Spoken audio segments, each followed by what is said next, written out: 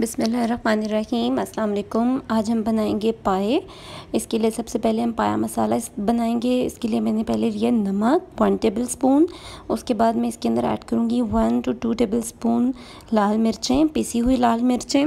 उसके बाद मैं इसके अंदर एक टेबल स्पून ऐड करूँगी धनिया पाउडर का। और उसके बाद मैं इसके अंदर डालूँगी हल्दी पाउडर तकरीबन हाफ़ टेबल स्पून धनिया पाउडर आपने टू टेबल स्पून डालने हैं हल्दी पाउडर जो है वो हाफ़ टेबल स्पून हम इसके अंदर ऐड करेंगे, उसके बाद हम इसके अंदर डालेंगे तकरीबन एक बड़ा टेबल स्पून देगी लाल मिर्च का, जो खाने में इतनी तेज़ तो नहीं होती हैं, लेकिन कलर के लिए जो है वो बहुत अच्छी होती हैं, इसके अंदर हम वो ऐड करेंगे, उसके बाद में इसके अंदर भुना कुटा हुआ सफ़ेद ज़ीरा और साथ जो है वो गरम मसाला पाउडर, तकरीबन हाफ़ टेबल स्पून जो है दोनों वो डालूँगी। और ये जो है मसाला हमारा तकरीबन छः छोटे पाए जो हैं उनके लिए रेडी हो गया है। आप चाहे तो पैकेट का मसाला भी यूज़ कर सकते हैं, लेकिन आप घर का मसाला अगर बना के करेंगे तो ये बहुत मज़े के बनते हैं। घर का मसाला एक तो हाइजीनिक होता है और बहुत अच्छा बनता है। अब मैंने यहाँ पे तकरीबन एक से थोड़ा सा कम जो कप है वो दे लिया है। उसको मैं अच्छी तरह से फेंट रही हूँ ताकि इसके अंदर जो थोड़े से लम्ब्स बने होते हैं वो निकल जाएँ और जो मसाला हमने रेडी किया था पाए का, वो मैं इसमें ऐड कर रही हूँ। गरम मसाला जो मैंने इसके अंदर ऐड किया था, वो होममेड है। वो मैं बनाना सिखा चुकी हूँ। इसका लिंक जो है मैं नीचे डिस्क्रिप्शन बॉक्स में दे दूँगी। आप वहाँ से भी चेक कर सकते हैं। तमाम चीज़ों को अच्छी तरह से हम मिक्सअप करेंगे। कलर इसमें मैं कोई ऐड नहीं कर रही हूँ, क्योंकि देखिए, लाल मिर्च का अपना कलर इतना अच्छा होता है कि वो उससे कलर बहुत ही प्यारा सा आ जाएगा। अब यहाँ पे हम पायों के लिए जो है वो रेडी करना शुरू होंगे उसकी प्रिपरेशन यहाँ पे मैंने ऑयल लिया है तकरीबन टू कप्स आप कम भी ले सकते हैं, मुझे थोड़ा सा ऑयली पसंद है। अब इसके अंदर मैं जो है तकरीबन दो प्याज मैंने लेकर उनको इस तरह से ग्राइंड कर लिया था, वो ऐड करूँगी। और इसको मैं तब तक पकाऊँगी जब तक मसाला सॉरी जो प्याज का कच्चापन है वो दूर ना हो जाए और इसका कलर चेंज हो जाए। अच्छी तरह से हम इसको पकाएँगे ताकि जो प्याज का कच्चापन है और इसके अंदर जो एक्सेस पानी है वो सब दूर हो जाए, इसका कलर थोड़ा सा चेंज हो जाए। फिर हम इसके अंदर दो टेब two two three table spoon इसके अंदर हम ऐड करेंगे लहसुन अदरक का पेस्ट लहसुन अदरक का पेस्ट आप जितना इसके अंदर डालेंगे ये उतना मज़ेदार बनेगा।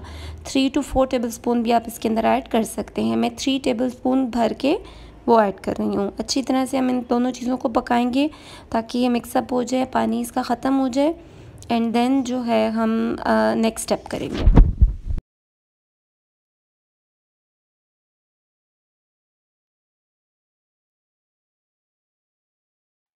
प्याज और जो लहसुन अदरक का पेस्ट है, उसका पानी खुश्क हो चुका है। अब मैं इसके अंदर जो है मटन के पाए ऐड करूँगी, तकरीबन छः अदद। और मैं अच्छी तरह से इन पायों को मैंने धोकर गर्म पानी से साफ़ कर लिया था। अब हम इनको अच्छी तरह से इनके अंदर पकाएँगे। मिक्सचर के अंदर इनका थोड़ा सा कलर चेंज होगा। देन में इसके अंदर जो दही का मिक्सचर हमने पाए मसाले के साथ बना के रखा था, वो ऐड करूँगी और फिर हम इसको मसाले के साथ भून लेंगे।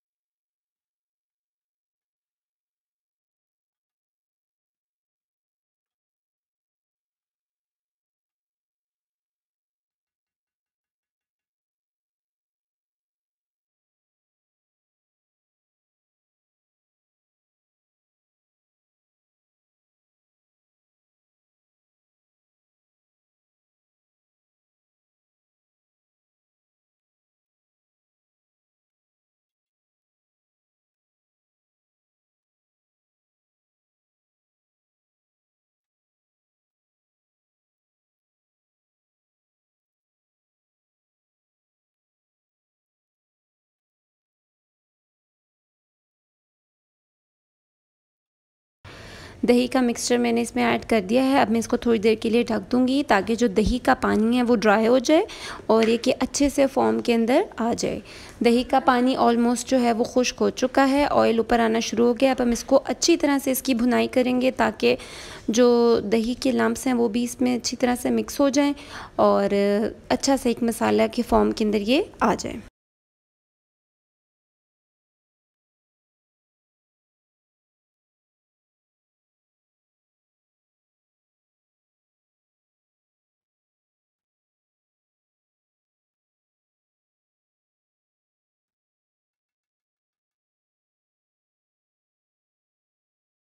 ऑयल जो है वो ऊपर आ चुका है, आप देख सकते हैं। और जो कलर है वो देख लें, कितना प्यारा है मसाले का।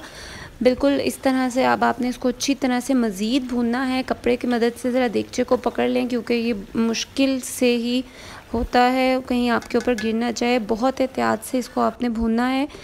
भुनाई हो चुकी है। अब मैं इसके अंदर तकरीबन 10 से 12 ग्लास जो है वो पानी के ऐड करूँगी। और इसको हम पहले पाँच मिनट के लिए तेज़ आँच के ऊपर पकाएँगे ताकि इस पर अच्छी सी उबाली आ जाए। दैन इसको हम बिल्कुल लो फ्लेम पे करके इसको हम ओवरनाइट कुक करेंगे। पाए हमेशा अच्छे तभी बनते हैं जब इसको ओवरनाइट पकाया जाए। अभी मैं इसको तेज़ आँच पे रखूँगी। जब एक अच्छी सी उबाली इसके अंदर आ जाएगी देन मैं इसकी फ्लेम जो है बिल्कुल आहिस्ता करके इसको मैं ओवरनाइट तकरीबन नौ से दस घंटे के लिए कुक करूँगी।